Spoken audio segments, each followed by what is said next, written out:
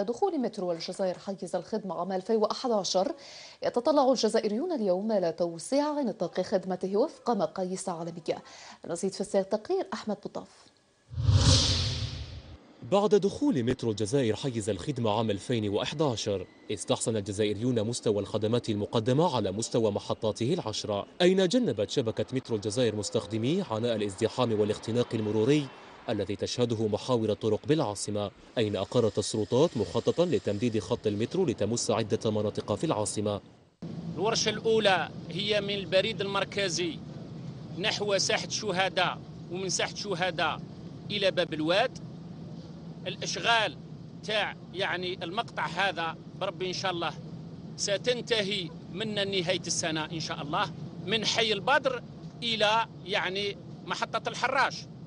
هذا المشروع أو المقطع اللي طوله 4 كيلومتر. شفتوا أن كل الإشغال الخاصة بالهندسة المدنية كوتيجيني سيفيل انتهت. حي البدر عين نعجة. هذا المقطع بطبيعة الحال اللي طوله الإجمالي بحوالي 3.6 كيلومتر. شفتوا أن جل الإشغال الكبرى يعني انتهت. المسؤول الأول عن قطاع النقل عمار غول شدد على ضرورة احترام وتطبيق كل المعايير العصرية الدولية في تشييد الأجزاء المتبقية من مشروع مترو العاصمة بما يتماشى والمقاييس المعمول بها دوليا.